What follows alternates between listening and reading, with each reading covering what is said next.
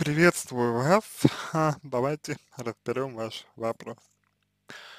У ребенка частые перепады настроения, то есть днем она ведет себя весело, но я все равно замечаю, что бывают моменты плохого. Вот к ночи к 11-12 часам она начинает плакать достаточно сильно, при этом она, она это от меня скрывает. Подскажите, пожалуйста, с чем это может быть связано? связано? Ну, а если мы говорим о, о феноменологии а, поведения ребенка, то он, она, феноменология, а, тесно связана с семейной системой. А, естественно, что а, не всегда и не только вот, э, связано это с, семьи, э, семейной системой. Вот, но а, чаще всего, чаще всего а, ситуация такова, что а, именно семья, именно, именно, а, ну вот, ситуация в семье, скажем так, играет здесь одну из определяющих ролей.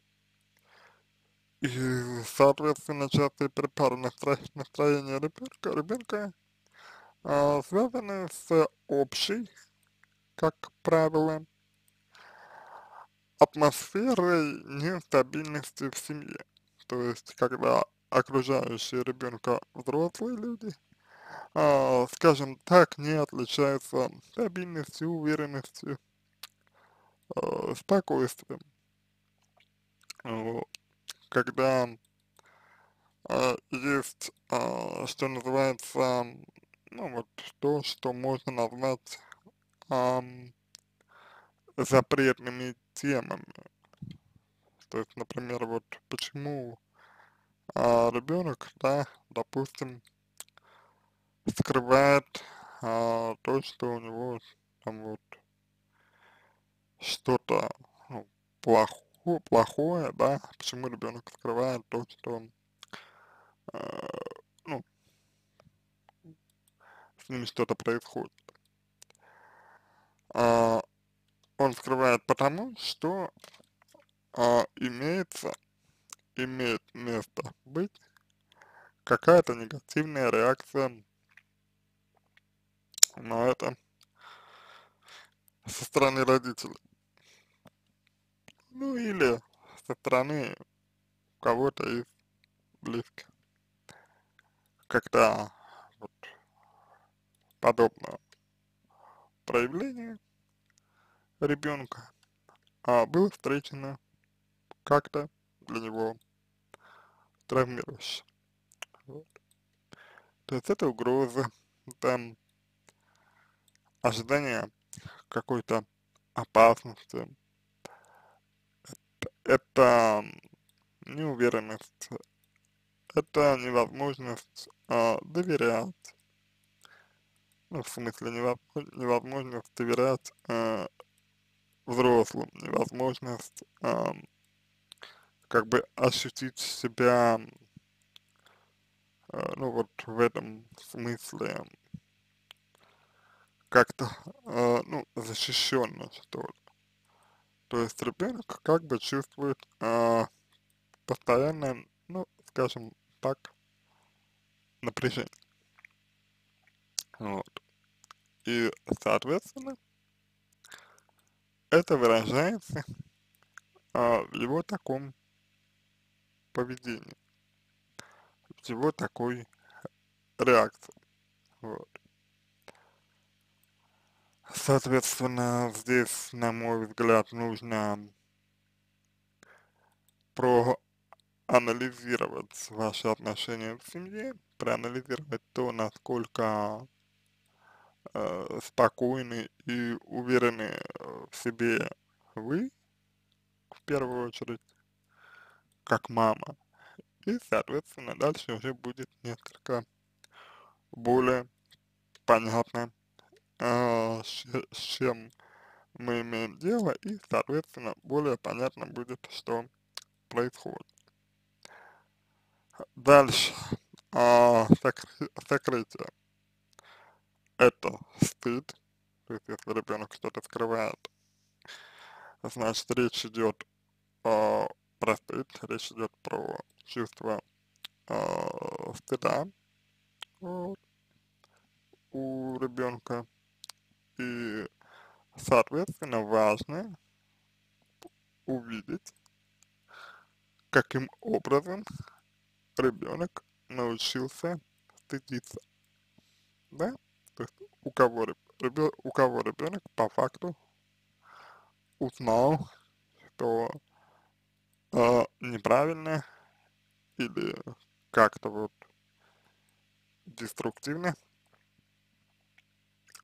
говорить а, о, о своих чувствах. То есть у кого ребенок этому научился.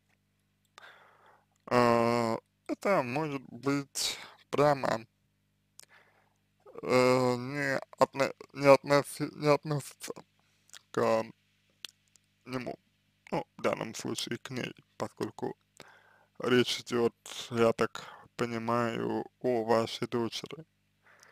Прямо к ней это может не относиться, но если ребенок увидит, что, э, ну вот, э, как-то вот обращаются с, условно говоря, с какими-то чувствами взрослые, то он будет а, позиционировать себя в данном случае так же, потому что ребенок перенимает модель поведения у взрослых. И того я могу, я могу сделать небольшое резюме, сказав, что а, в вашей семье могу, может отсутствовать элементарная система, а, ну, например, элементарная система доверия. Э, есть какие-то а, запретные темы, и есть, вероятно, негласное порицание открытости. Есть негласное порицание проявления чувств, может быть, а, даже имеет место быть а, какой-то запрет на грусть. То есть вот то, что вы описываете, да, что ребенку там может быть плохо, она может быть грустит, вот, она как бы не хочет показывать вам, что она грустит. Почему-то, да? То есть вполне вероятно, что к ней может предъявляться негласное, я повторюсь, негласное, негласное, то есть прямо вербально не выраженные требования не грустить. Вот есть, а, есть такие семейные системы, где а, к плохому настроению человека, к грусти, к просто какой-то вот такой а, к снижен, сниженности настроения, вот, относятся, ну, вот, как-то не очень хорошо, да? То есть вот такое а, бывает, такое бывает, и, соответственно, ребенок ну, достаточно быстро учится, достаточно быстро научается эти моменты как-то вот скрывать, не показывать, а, не, демонстрировать, вот, и так далее. То есть а, идея здесь не в том, а, чтобы понять, с чем это связано, потому что связано это может быть со многими, как я надеюсь, вы уже поняли, факторами, а связано, а, а главное здесь в том, чтобы а, подкорректировать вашу семейную систему, проанализировать такую важную часть, как общение с ребенком том числе непрямое общение с ребенком. То есть это такая а, форма взаимодействия, такая форма общение, когда а, прямая коммуникация с ребенком отсутствует, прямой коммуникации с ребенком нет, но все равно какие-то мысли ребенку транслируются, все равно, равно какие-то э, элементы, э, какие-то послания, может быть, ребенку все равно идут.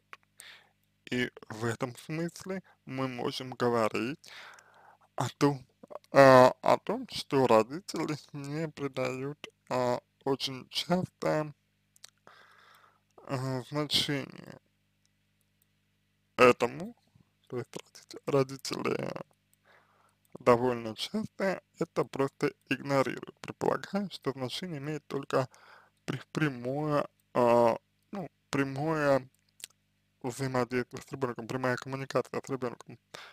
Вот. Хотя на самом деле это не совсем так. На самом деле э, не только, э, не, только э, прямая коммуникация имеет значение.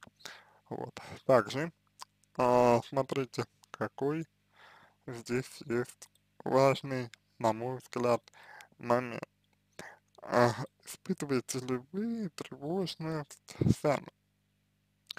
То есть, а, если вы сами испытываете а, тревогу, если вы а, сами как-то вот, а, ну, может быть, а, довольно а, часто переживаете, ну вот по какому-то поводу, да, если вы дов довольно часто э, испытываете вот такие ощущения, то ребенок, соответственно, перенимает это у вас, науча научается э, такой модели поведения.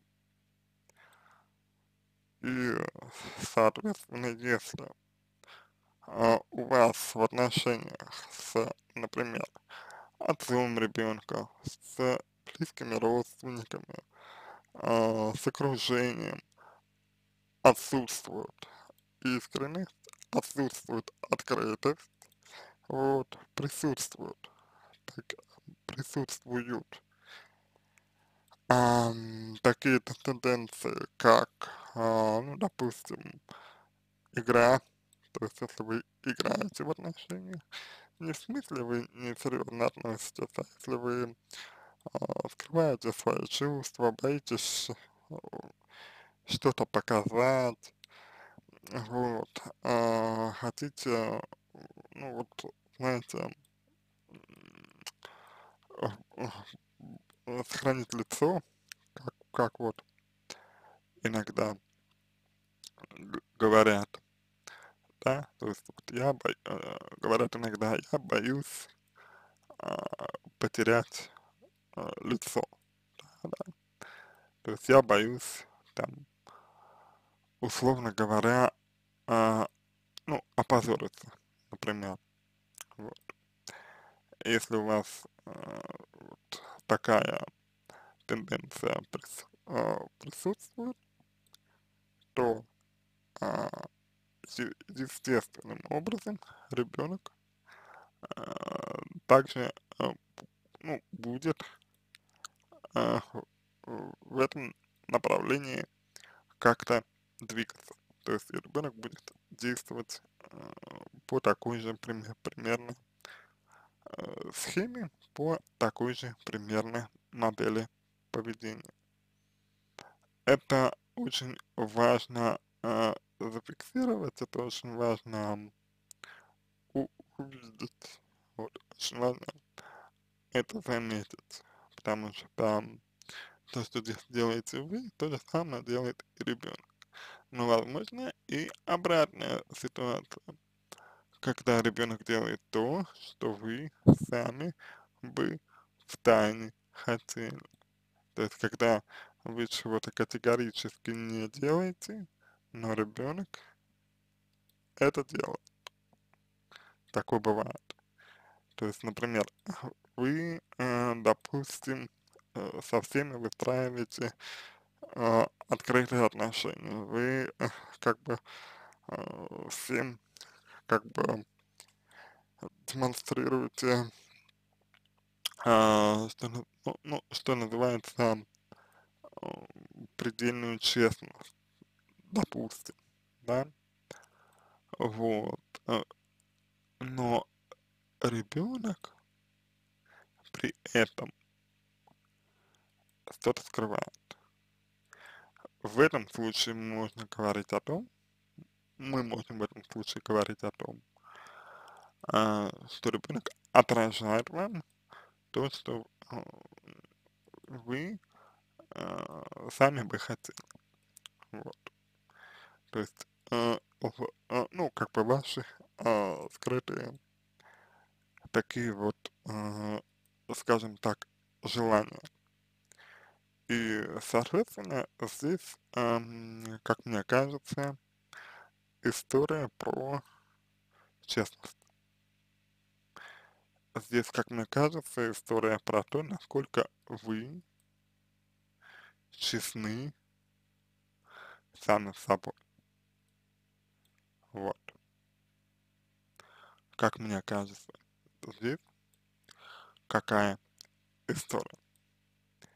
Если вы, а, ну вот, а, сами с собой не честны, и если вы склонны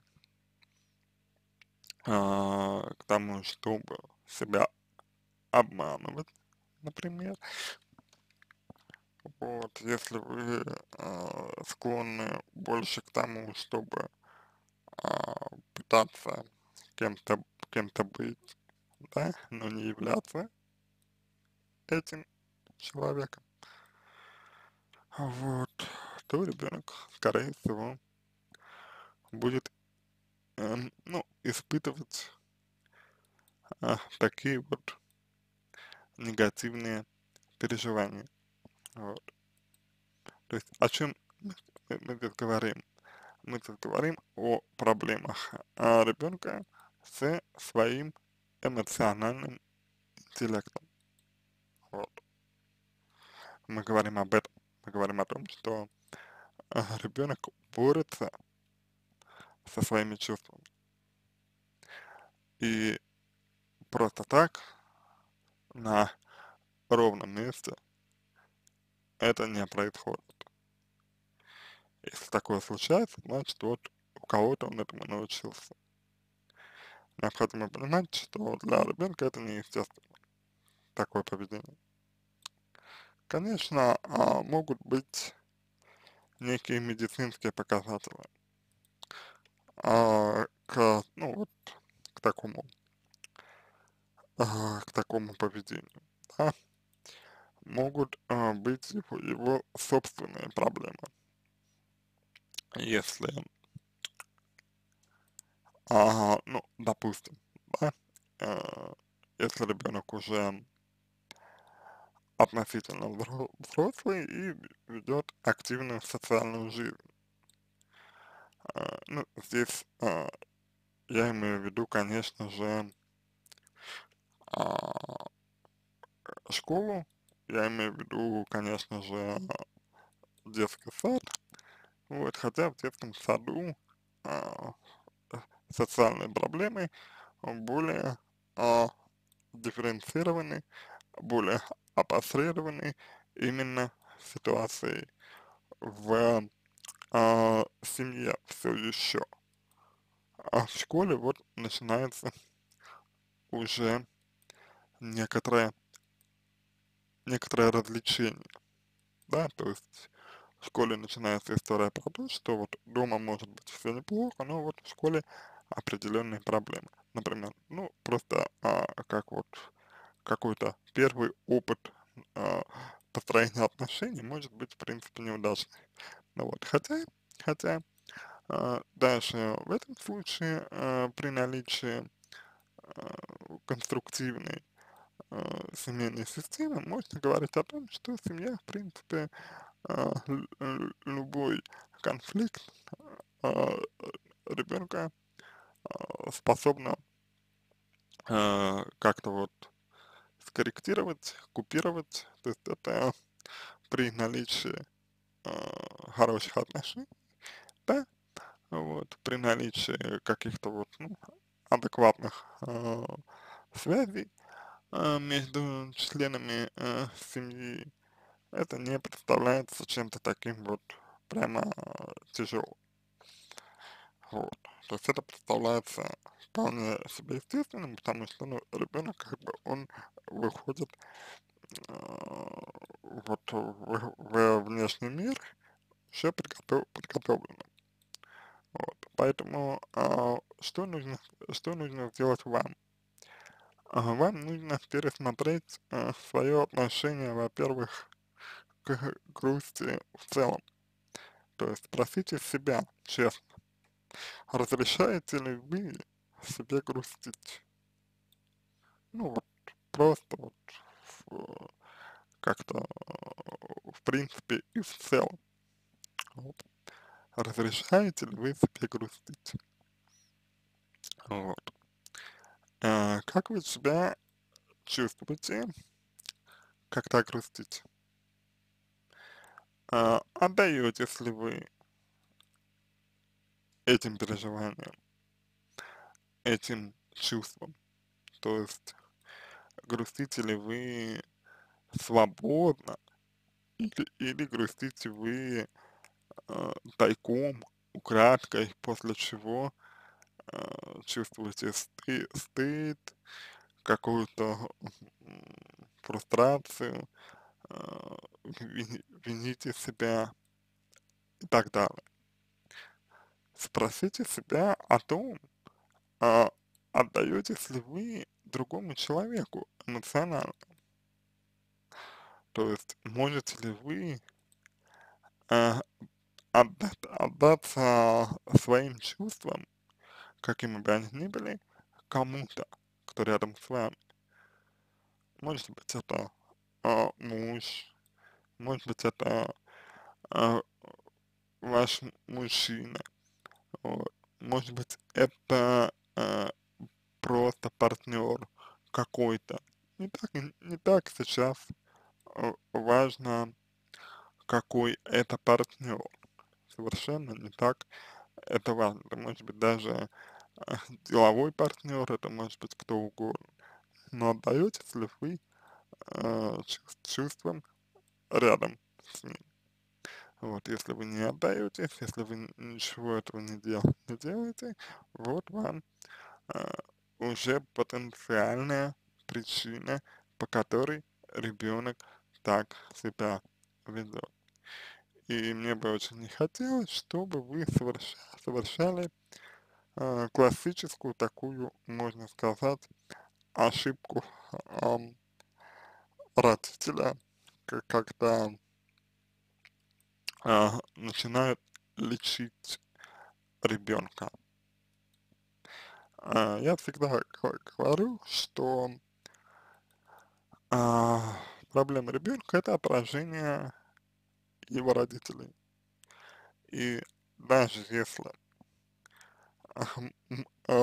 ребенку удается помочь, даже если для ребенка удается что-то сделать, вот, даже если удается э, ребенка как-то вот вывести на более, что называется, ну, такую, на более а, конструктивную а, модель, да, вот, а все равно ребенок а, возвращается а, в семью, возвращается в а, структуру своей семьи.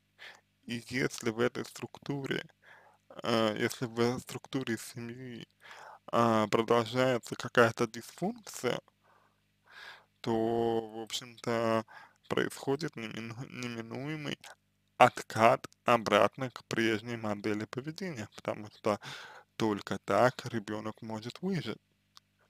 Если мы, например, говорим, что ага, нужно открыто выражать свои чувства И если мы э, научаем ребенка э, вот, ну, допустим, в максимально, э, ну, безопасной, скажем так, э, среде э, это делать, то вернувшись в семью, где этого друг не, не делают, как ребенок выживет? Как ребенок будет общаться с родителями, если его каждый раз, например, когда он будет выражать свои чувства, или если он будет делать что-то нетипичное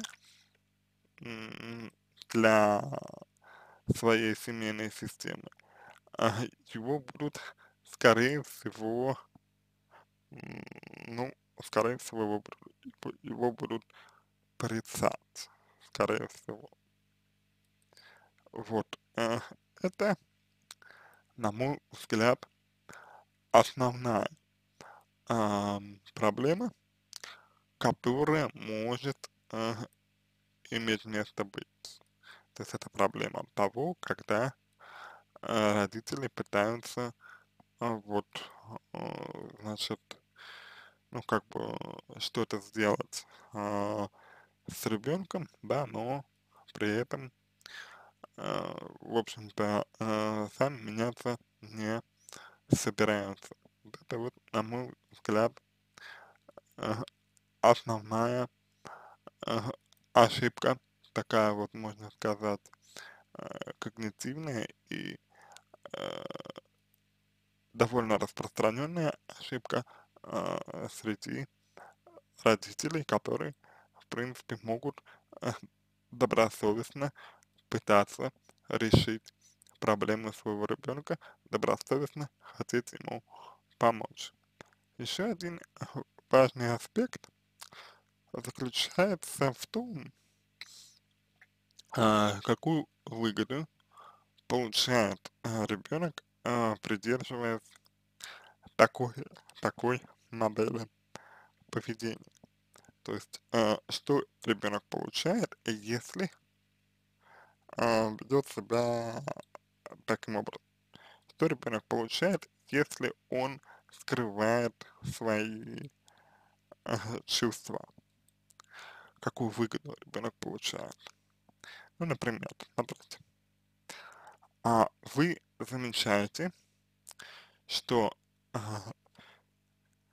ребенку плохо, но он ничего не говорит. Он ничего не говорит. Он скрывает. И вы чувствуете вину перед ребенком что ему плохо, а он молчит. А когда вы чувствуете вину, и если вы чувствуете, чувствуете свою вину, э, ребенок это считывает, считывает он это достаточно хорошо, вот, достаточно четко, и получает для э, себя возможность э, как-то вами манипулировать здесь. То есть, если у вас возникает чувство вины, ребенок вами, скорее всего, манипулирует. Скорее всего. Повторюсь. Вот. Поэтому здесь э, ситуация Э, ну вот она, э, скажем так, э, очень плотно связана с взаимодействием. То есть с тем, как я взаимодействую с, ну вот, со своим ребенком. Да? Вот. Иными словами, как бы, ну, если вот мы говорим простым языком. и, соответственно, бе без ага, понимания э, какой-то выгоды, без понимания того, э, что ребенок получает, благодаря вот такой, вот такой э, модели, скажем так, да, да, вряд ли можно говорить о какой-то коррекции. Вот, потому что э, если вы пытаетесь помочь своему, ребенку, если вы пытаетесь сделать для него все, что вы сейчас делаете из чувства вины, то ребенку невыгодно менять свою модель поведения. Потому что пока вы чувствуете себя виноваты, например, он может э, что-то получать для себя. Вот. И, и соответственно, будет оставаться э, в этой модели, даже если она для него тяжела. Вот. Очень часто э, бывают такие э, случаи, когда э, то, что вы описываете, становится возможным по причине, э, скажем так, э, часто конфликтов э, взрослых э, в это время. То есть у ребенка, у ребенка как-то вот складывается в памяти, что вечер, ночь — это время э, неопределенности, это время, когда может случиться что-то не, не очень хорошее, вот. И, и, э, и, соответственно, нужно в данном э, случае э, посмотреть на опыт человека. А, что происходило с человеком? Что с ним происходило? Были ли какие-то, а, ну вот, а, травмирующие эпизоды в его, а, в его жизни, происходящие примерно в это время да? И, соответственно, э, тут уже можно, конечно, использовать э, детскую психологию, э, тут можно уже использовать э, приемы э, для работы с детьми, вот, в частности, игры, э, терапия э, достаточно хорошо Э, ну, как бы, достаточно хорошо помогает, ну, понять, раскрыть вот то, что с ребенком происходит, да, вот. Какие-то еще могут быть приемы использоваться, например, арт-терапия тоже работает неплохо. Если ребенок достаточно уже взрослый, то есть имеется в виду, если ему стар, если ему больше пяти лет, вот, то а, в таком случае может использоваться клиент-центрированная а, терапия, например, например, э, для того, э, чтобы э, вывести человека на волнующий его аспект. Вот. Конечно, хотелось бы а, больше информ информации, вот, но в заключение я вам скажу следующее. А, самое худшее, что вы можете сделать а, сейчас для, собственно, ну вот, для своего ребенка, самое худшее, что вы можете сделать, это начать на это обращать внимание. э, начать э, с ребенком об этом говорить, фиксировать, фиксировать его на вот этом моменте. А чем больше а, происходит а, фиксация, чем больше происходит фиксация э, внимания ребенка э, на чем-то, тем больше он э, получает, получает риск застрять. Вот. Поэтому, на мой взгляд, э, ваша задача заключается в том, э, чтобы продемонстрировать ребенку, как нужно обращаться с своей грустью. грустью. Продемонстрировать, продемонстрировать ребенку, как вы справляетесь с этой проблемой э, через, э, повторюсь, это очень важно, через непрямую коммуникацию. Потому что прямая коммуникация, э, возможно, будет, будет для ребенка э, слишком тяжелой. Вот. За счет ее многопредметности и за счет невозможности фокусировать свое внимание э, ну, на конкретном э, предмете, вот, как если бы это сделал взрослый, например. То есть если взрослый может э, вот, значит, э, ну, как бы фокусировать э, внимание,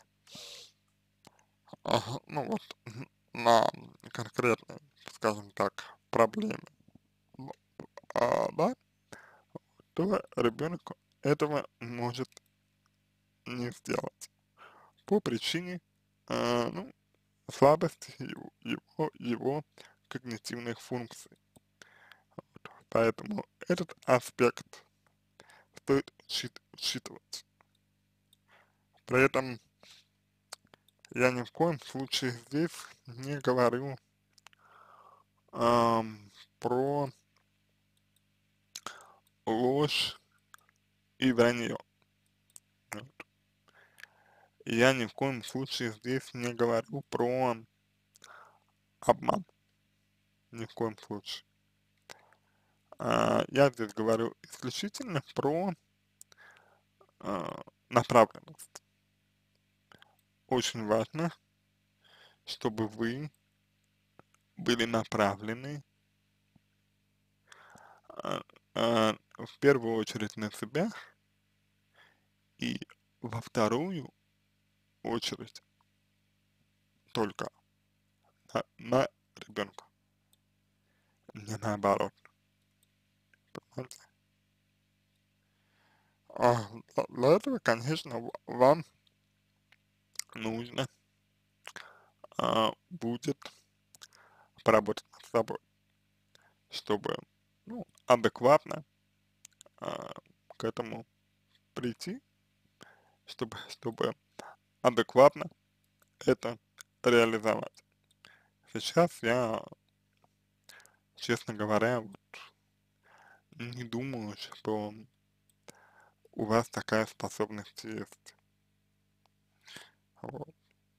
Я не думаю, что, честно говоря, сейчас у, у вас, э, ну, есть э, такой навык, к сожалению.